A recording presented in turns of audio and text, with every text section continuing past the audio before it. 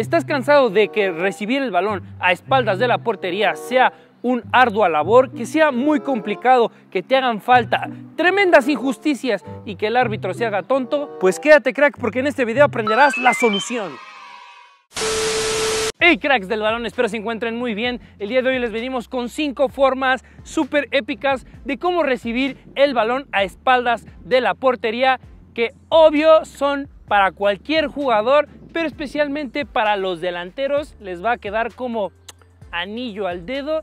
Va a ser súper jugoso este tutorial que obvio no se van a querer perder y por supuesto van a dejar su grandioso like. Bueno cracks, sin más por agregar, empecemos con este top 5.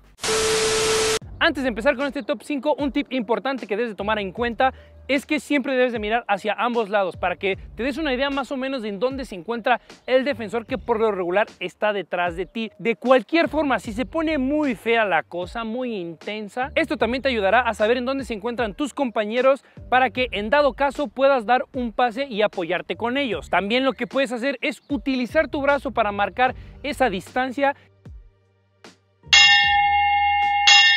Oye, tranquilo viejo. Y te puedes despegar un poco del defensor y puedes recibir de manera cómoda ese balón.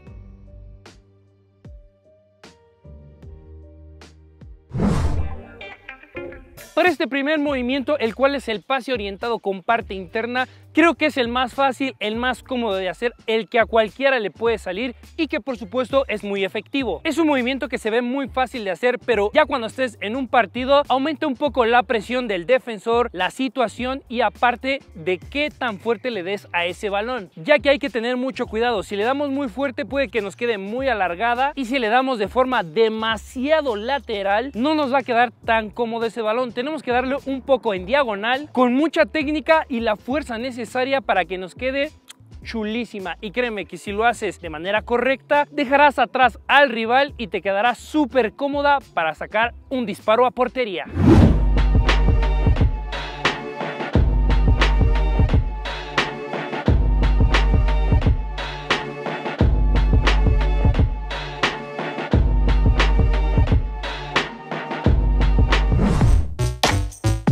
Este segundo movimiento, el pase orientado con parte externa, te recomiendo que lo hagas ya cuando hayas hecho varias veces el anterior, el de parte interna, porque obviamente esperarán una vez más que hagas ese mismo y lo sorprenderás con este, al cual lo único que le vamos a agregar es una pequeña finta muy efectiva hacia el lado no dominante para salir a máxima hacia nuestro lado dominante. Al hacer esto con ese movimiento, créeme que dejarás atrás al rival y aunque suene muy sencillo, créeme que no te alcanzará.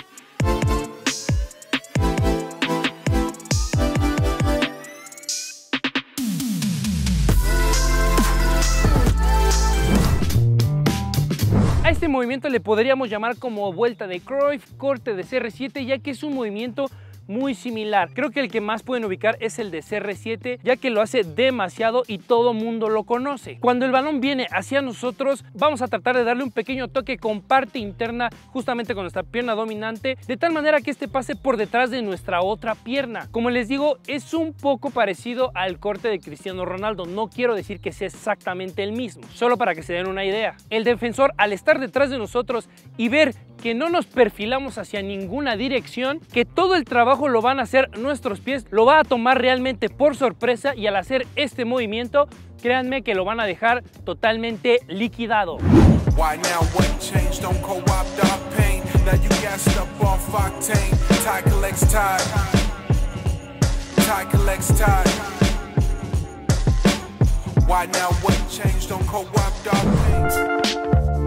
La recepción con medio giro creo que es una de mis favoritas, ya que no se necesita demasiada técnica y te vas a ver como un crack cuando la hagas, aparte de que es muy fácil. En esta ocasión vamos a dejar que el balón llegue hacia nosotros y lo vamos a recibir con parte interna y al mismo tiempo vamos a ir dando una media vuelta.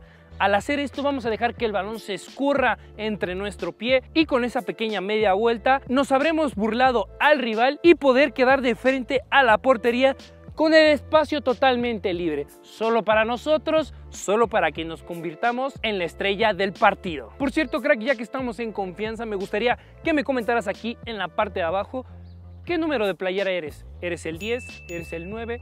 ¿Eres el 7? ¿El número 3? Coméntalo aquí abajo.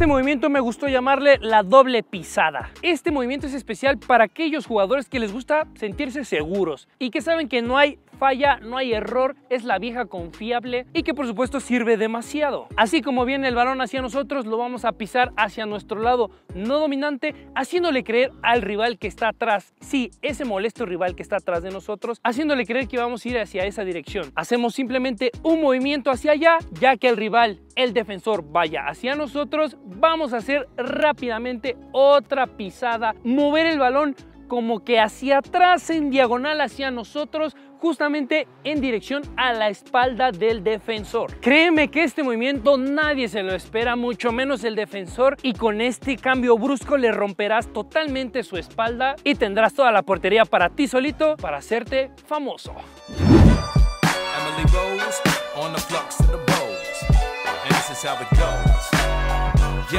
Kinda long in the tooth, but every song is the truth. King Kong in the booth, Godzilla style, hot spitter, but a lot iller. Top biller, clock, gorilla, rock spots for mozzarella. Rhyme pugilist, not new to this. Drop hits while you drop from your mom's uterus. I rock crowds from here to Australia, cause I drop doubts and fears that cause failure. The golden age. Crack, ¿verdad que estuvo muy bueno este top 5? Yo te recomiendo que se lo compartas a todos tus amigos, los pamboleros, a los que les gustaría hacer un crack en la cancha, compárteselos para que también sean unas leyendas y en todo tu equipo haya puro máster y se lleven ese anhelado torneo. Por supuesto, no olvides dejar aquí abajo tu comentario sobre qué te pareció este video y qué próximos nuevos videos aquí en Titanes quieres ver. Algún regate, algún truco, algún tip, consejo, algún top de lo que tú quieras, déjalo en los comentarios. Por supuesto, no olvides seguirnos en nuestras redes porque ahí también andamos subiendo dos que tres tutoriales, videitos de foot que seguro te van a gustar. Bueno, cracks, espero les haya servido este video. Yo soy Capi y nos vemos la próxima. you.